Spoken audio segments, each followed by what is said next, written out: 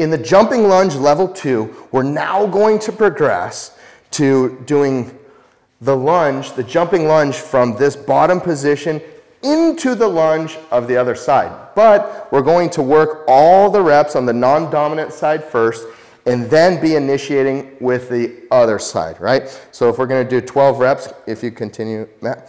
So we're gonna, let's say we're gonna do 12 reps on the non-dominant side, on the left side. So we'll do them all 12 exactly like you're seeing here. All right, so now let's break down the details. Let's go ahead and put that left foot forward. So in this case, this is Matt's non-dominant side.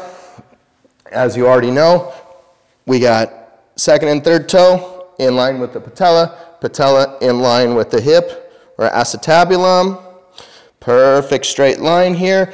Have good uh, kinetic action into the floor. So as we're climbing up here through the kinetic chain in a straight line, then we want to see that the kinetic chain is maintained with a pelvis that's horizontally level. We're not doing any Trendelenburgs. Let's show Trendelenburg. Awesome. Good, we're staying straight and level like that. Spine is upright. Great vertical upright line to the spine. Center of the ear is in line with the middle of the shoulder. And all the force, or almost all the force, is being applied from that heel to the center of that heel. And we do want to make sure that that foot stays straight because Let's say, for example, you turn your foot out. Now the knee's going straight. Now you got some major shear stress going on in the knee, and we're doing a plyometric exercise. That's like a recipe, recipe for disaster.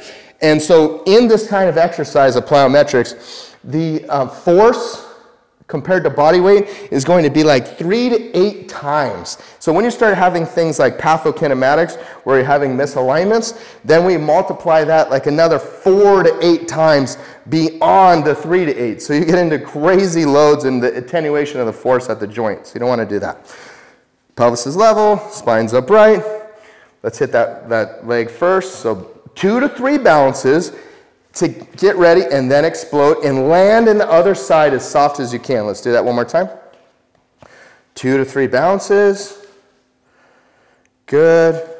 And jump and land as soft as you can on the other side. Now, the things you should be thinking is all that form I just talked about, the two to three bounces. Let's go back to that position.